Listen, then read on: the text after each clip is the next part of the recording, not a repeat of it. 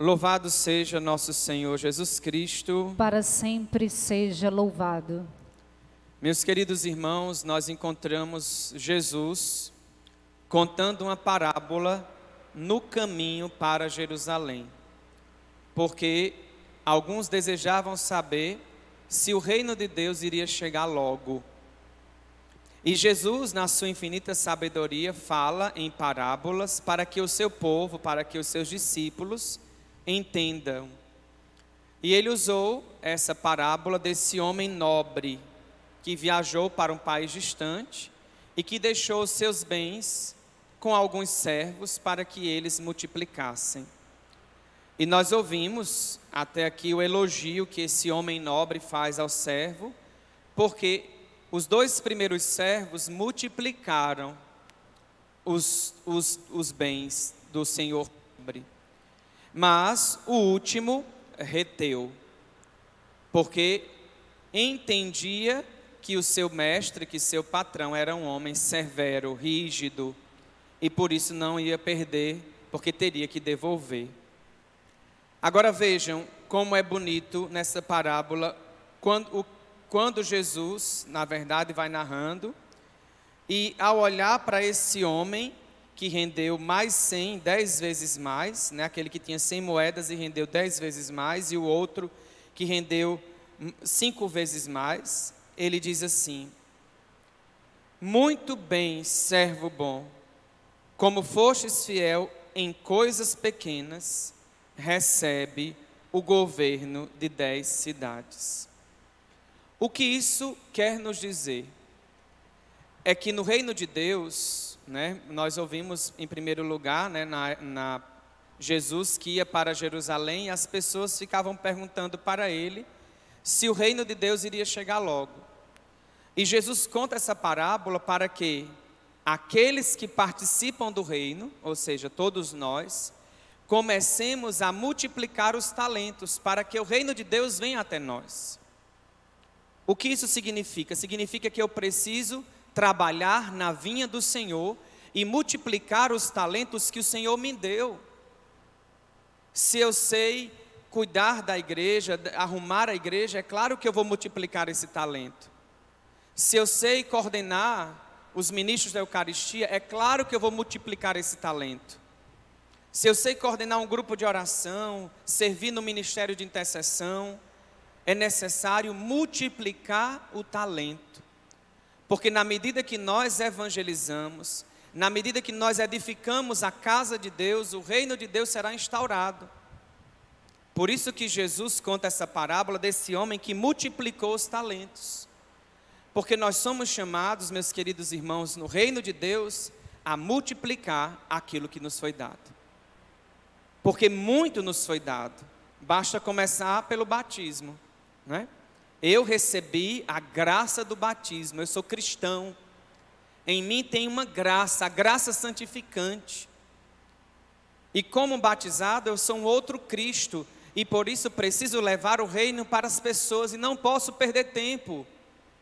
Porque o reino de Deus virá quando nós nos colocarmos e é, em ordem de batalha, fazendo com que o nosso talento se multiplique. O problema é que muitas vezes nós retemos, nós retemos os nossos talentos. E aí nos fechamos em nós mesmos, como aquele homem, o último homem que não rendeu nada. Paramos no egoísmo, no individualismo ou não quer servir, não se coloca à disposição. E essa parábola, de fato, é uma chamada de Jesus para nós a nos colocarmos à disposição para multiplicar os bens que o Senhor nos deu. Por exemplo, hoje nós celebramos Santa Isabel da Hungria. Essa mulher era rica, não é? Ela, ela vivia numa família de reis, rainhas né?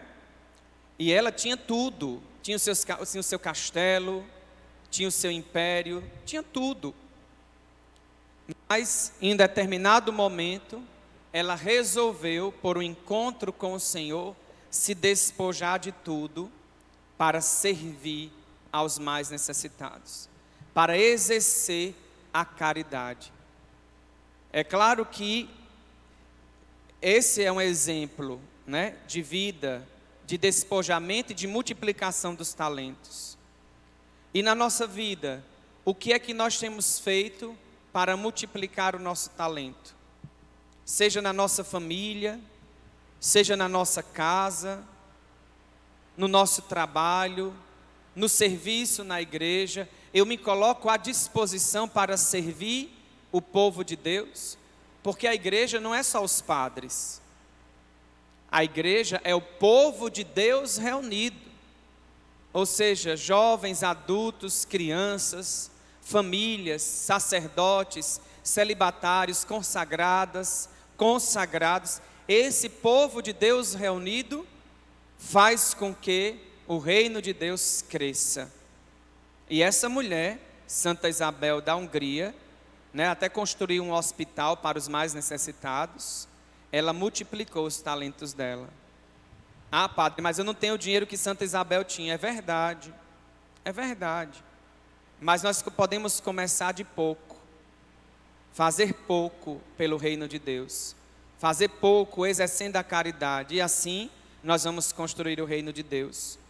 E lembrar o que Jesus falou no Evangelho: muito bem, servo bom, como fostes fiel em coisas pequenas, né? Nós somos chamados a receber esse elogio do próprio Deus, se realmente nós começamos a fazer crescer o reino de Deus através das coisas pequenas. E vamos traduzir aqui as coisas pequenas. Amar o próximo, né? Quando entrar no ônibus que tem uma pessoa com mais idade que você, dá o lugar para a pessoa sentar, né? Ser caridoso, ser gentil, dá um bom dia, uma boa tarde. Tem gente que passa pelo outro e não dá nem bom dia nem boa tarde. É porque eu não conheço. É verdade. Tem gente que a gente não conhece, mas ela precisa receber um bom dia, uma boa tarde. Às vezes a gente passa assim despercebida, despercebidamente e não olhamos o outro que precisa de um simples bom dia, boa tarde. Isso muda a vida de uma pessoa é fazendo pequenas coisas que o reino de Deus vai crescer, vai desenvolver e será implantado o mais rápido possível. E o Senhor voltará para nos, é, para, claro, para julgar os vivos e os mortos, né? Porque Ele virá por uma segunda vez. Nós já estamos nos preparando para o advento com essas leituras, né? O advento já está às portas, mas é preciso já no nosso hoje, no hoje, realizar as coisas pequenas para, para recebermos de Deus esse elogio.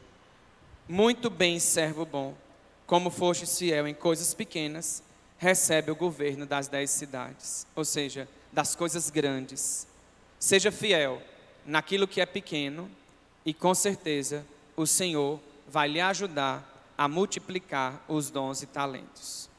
Louvado seja